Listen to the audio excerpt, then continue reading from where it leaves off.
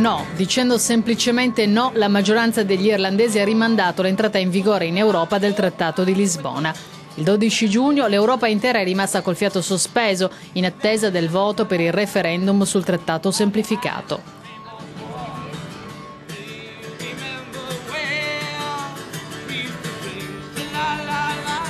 E adesso ci si chiede il perché di questo risultato.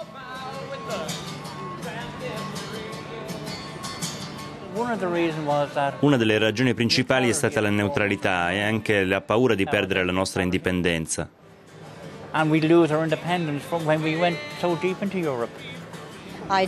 Non ho capito tutto del trattato, per cui confesso non ho votato. C'è un po' di confusione. Ora spetta probabilmente al governo fare chiarezza. Capisco che oggi sia tutto un caos.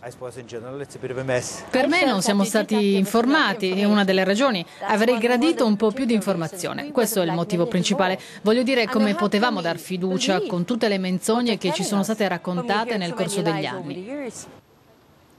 Il vice direttore dell'Irish Times sostiene che Dublino e Bruxelles hanno sottovalutato la portata del dibattito sul futuro dell'Europa.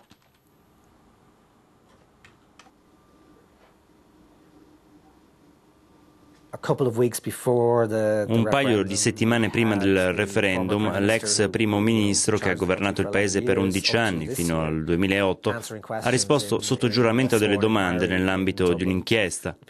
Il pubblico presente all'udienza si è messo letteralmente a ridere per le risposte date. Non è certo l'atmosfera giusta per dire credete in noi, non dovete preoccuparvi del trattato, non vi mentiremo mai. Non è stato un buon messaggio, il fatto allarmante è che non sembrano tuttora rendersi conto di questo.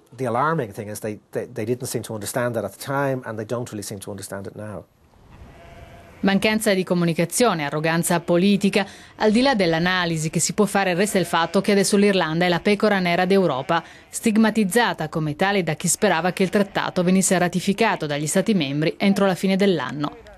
Il presidente dell'Associazione irlandese Agricoltori per la Contea di Dublino ha votato a favore del trattato, ma solo dopo che l'associazione ha avuto garanzie per tutelare gli allevatori nei negoziati di Doha. Il suo messaggio a Bruxelles. Dobbiamo combattere per gli interessi degli agricoltori, questo è il nostro lavoro. Dobbiamo batterci per gli interessi degli agricoltori, interessi che sono strettamente connessi ai negoziati internazionali Voglio dire, il WTO è importantissimo, ci sono anche i problemi dei pescatori, il problema del continuo aumento del prezzo del petrolio. Dobbiamo far fronte a tutti i problemi comunitari all'interno dell'Europa. L'Europa deve ridurre i timori dei suoi cittadini.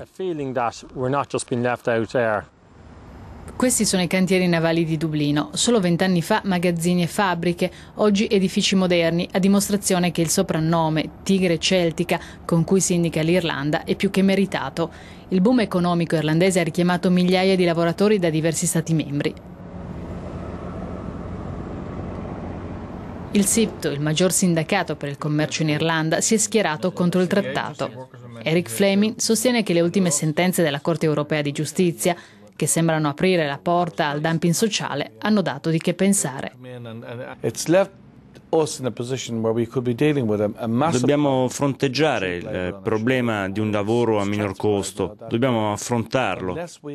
Ciò che notiamo è che c'è un impegno collettivo che si è però spostato verso il tema del commercio, verso le imprese europee impegno che è minore nei confronti dell'Europa sociale.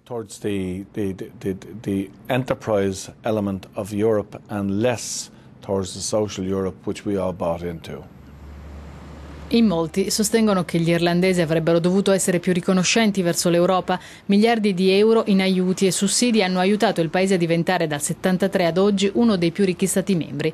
Non tutti sono d'accordo, tasse relativamente più basse hanno reso possibile il miracolo irlandese, dicono gli imprenditori, regime che potrebbe finire con l'entrata in vigore del trattato, sostengono i suoi detrattori. Difficile comunque capire cosa succederà adesso. Lo Sinn Féin ha votato no al trattato, la maggior preoccupazione riguardava la neutralità. Non si può procedere senza la ratifica di tutti i 27 Stati membri. L'aspetto più preoccupante è comunque che alcuni leader europei hanno addirittura parlato di un, referendum per decidere se tenerci nell'Unione oppure no. Nessuno tra i contrari del trattato ha messo in discussione il posto dell'Irlanda nell'Unione. Noi crediamo che l'Irlanda debba essere il cuore dell'Europa. E l'idea di rifare un referendum ci appare profondamente antidemocratica. Servirebbe piuttosto ad allargare il deficit democratico che esiste non solo tra l'Irlanda e l'Unione, ma all'interno dell'Unione stessa. I sostenitori dicono che il documento renderà l'Europa più democratica e ribadiscono che non è rinegoziabile. Il ministro irlandese per gli affari europei ammette la situazione non è semplice. This is a challenge for Ireland and this is a challenge for Europe. È una sfida per l'Irlanda, è una sfida per l'Europa, è un importante momento per lo sviluppo europeo. Il messaggio degli irlandesi è chiaro, ciò che è sottinteso è meno chiaro. Ci sono stati molti temi di cui si è discusso in campagna elettorale che hanno avuto un forte impatto presso l'opinione pubblica. Sappiamo per esempio che malgrado il voto negativo, gli irlandesi restano favorevoli alla costruzione europea e sentono che il trattato deve essere semplicemente rinegoziato. È chiaro, rinegoziare 27 27 non è la soluzione più semplice.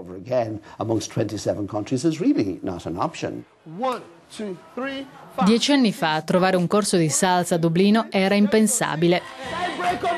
Oggi i corsi di Amaeci sono completi. L'anno scorso si chiese ad Amaeci di fare le coreografie in occasione delle cerimonie per il St. Patrick Day. Per questo giovane insegnante di danza i suoi corsi testimoniano il grande cambiamento che c'è stato in Irlanda.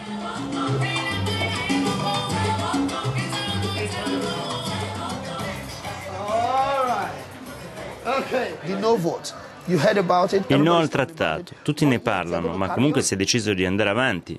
Della serie ce ne freghiamo di quello che chiedono i cittadini, non si tratta solo degli irlandesi.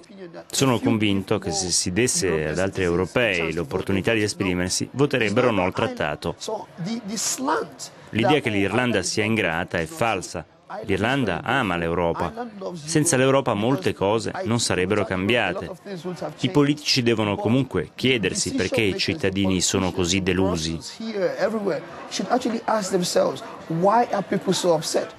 Sul Trattato di Lisbona le nubi europee sembrano addensarsi. Qualcosa di sbagliato nella costruzione comunitaria c'è stato, così ha commentato il presidente di turno dei 27 Nicolas Sarkozy. Riprendere in mano questa costruzione e adeguarla alle esigenze della nuova Europa è la nuova sfida.